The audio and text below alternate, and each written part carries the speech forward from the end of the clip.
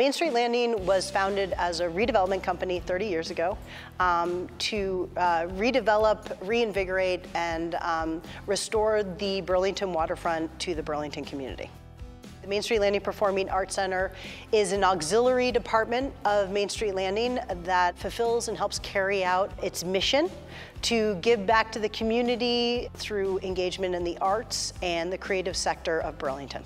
Main Street Landing gives a 50% discount to all nonprofits when they come and rent our spaces. So the idea was that this center was a place where nonprofits could raise money, have meetings, uh, engage in the community in a gorgeous location and beautiful space at a reasonable subsidized fee.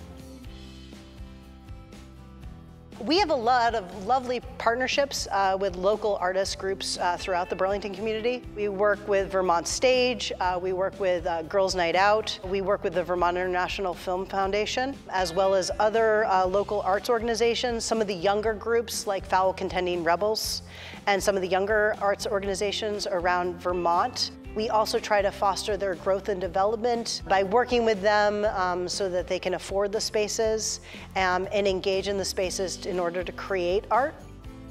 One of the things I love about Main Street Landing is that my work allows um, arts communities to incubate, to grow, and to uh, excel in our community, and also engage uh, all of the people in Burlington and the surrounding areas in contemporary art.